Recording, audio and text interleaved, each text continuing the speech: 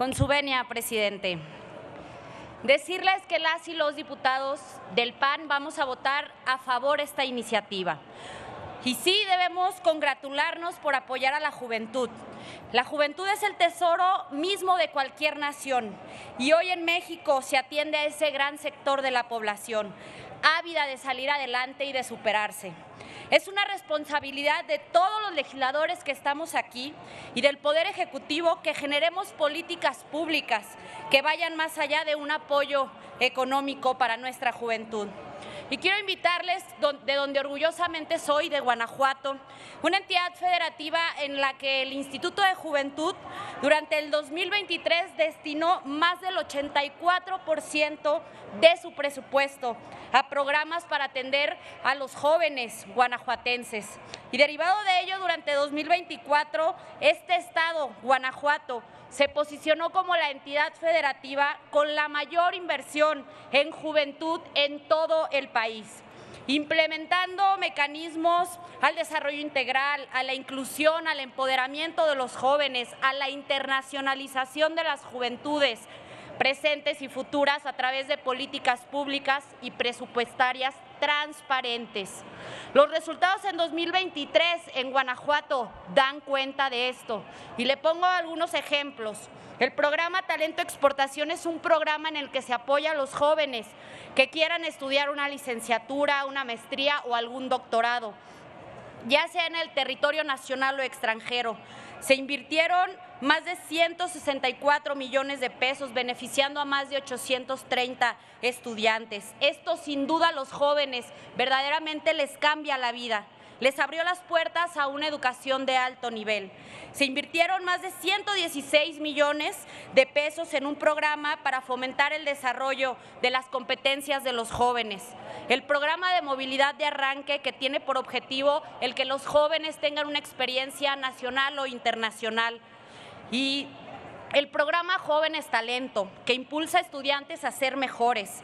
También programas a jóvenes para que tengan un apoyo único para movilidad, que promueve las trayectorias académicas, deportivas, culturales, en total, en Guanajuato se ha beneficiado a más de un millón de jóvenes para que continúen sus estudios, para que potencien sus habilidades no solo en lo cultural, sino también en lo deportivo y en lo académico.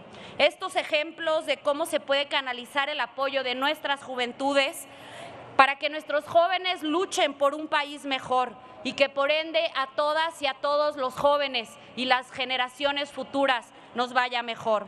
Y como lo decía, aquí tenemos la obligación y en el Poder Ejecutivo también deben generar políticas públicas que generen un impacto mayor a la juventud. Un apoyo durante 12 meses puede parecer suficiente, sí, sin embargo es solo un bien material. Por eso nuestros esfuerzos deben de fomentar la transversalidad, debemos fomentar el acceso a oportunidades educativas, oportunidades culturales y sobre todo al desarrollo de su inteligencia.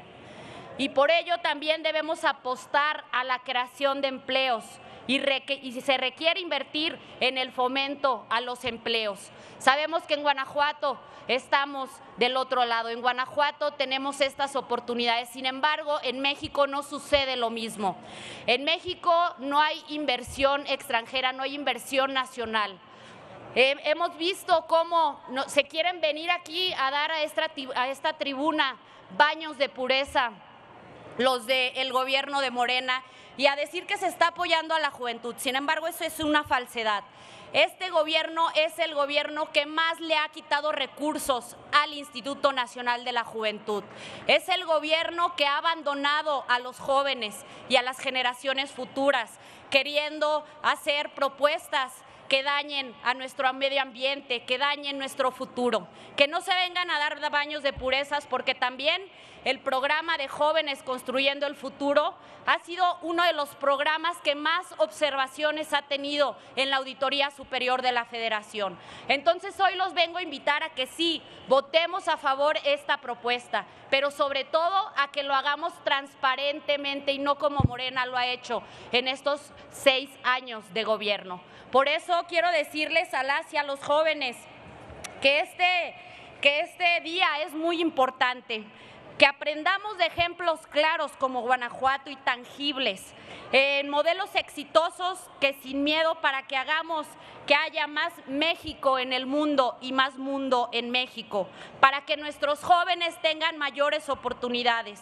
Animemos a la juventud a ser productiva, a ser ganadora. No subestimemos nunca la sabiduría de los jóvenes y trabajemos en conjunto. Recordemos, los jóvenes somos la fuerza de México. Es cuanto, presidente.